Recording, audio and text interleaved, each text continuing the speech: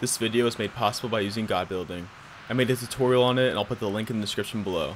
Anyways, if you enjoyed the video, don't forget to like, subscribe, and hit the bell so you don't miss out on a single other video. Peace out.